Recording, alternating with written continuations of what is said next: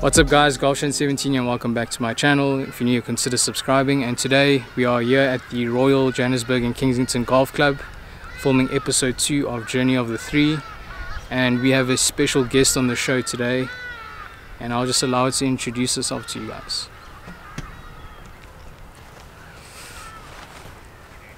Are we going? Yeah. Hey guys, I'm Demi from Callaway Golf South Africa. I work as a fitter and events coordinator for Callaway Golf.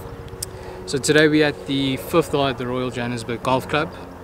Um, obviously in the previous video I chatted about there being a variety of par 3s and obviously the reason for me choosing this par 3 is that it's completely on the other perspective of a par 3 where it's quite short. Um, and yeah, there's a lot of trouble and it's still not an easy hole. So yeah, let's dive into it and see what we can do. Cool.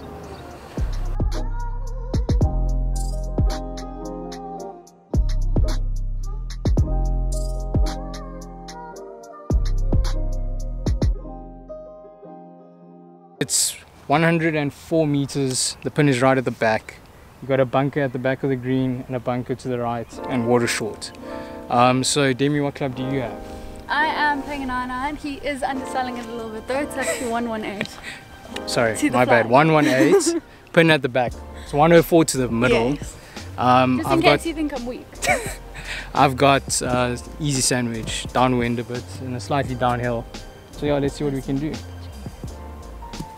What do you think? I think nine. Nine. Okay. Okay, ladies first.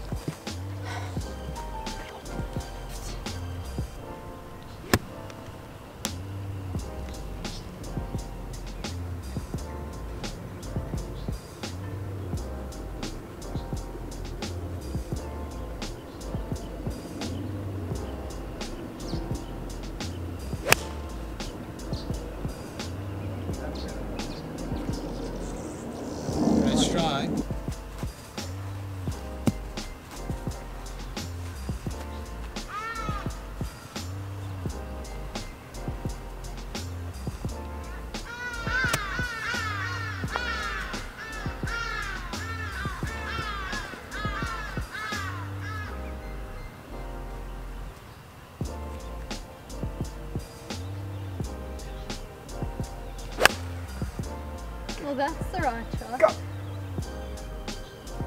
Great shot. Spin back. As I just hit sandwich, literally right over the pin. Didn't spin back, stayed off the green. And um, Demi just pulled hers a little bit to the left, um, but she's about pin high, just short, just short of pin high. Um, so yeah, I got a bit of a challenging two putts coming up.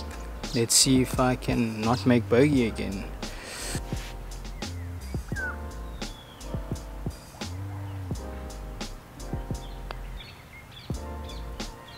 Putt for birdie.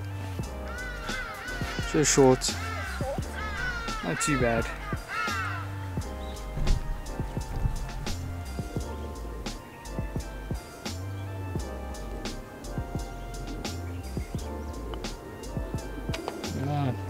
Nice little two putt from about what 25 feet.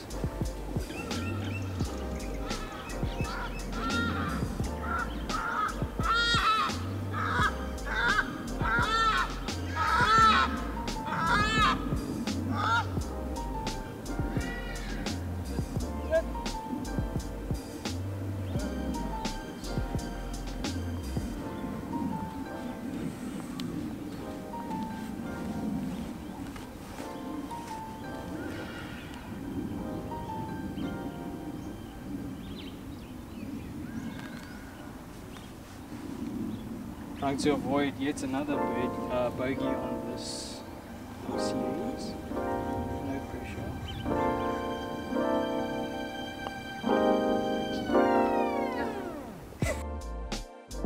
So what I really like about this hole is that you've got water short. It's about 120 meters to the back of the green from the back of the tees. Um, so it means that first of all, everyone is in play and is able to attack this hole, but there's also that that fear factor of two bunkers and a hazard short of the green. The bunker at the back is basically when the pin is at the back, there's quite a big slope in the middle of the green, so people normally try and avoid that and attack the back pin. So obviously they're just guarding against that. That's protecting that side. And then to the right, they normally put a pin right down to the bottom right. So that normally just guards against people that try and attack that pin instead of just playing the sensible shot to the middle of the green. So this hole is just proof that you don't have to have a hole that's 230 meters to make it a good par 3. And I just want to thank Royal Johannesburg for having us out here. Thank you, Chris and team. And yeah, I'll see you guys at the next one. Make sure you subscribe and thank you for joining us.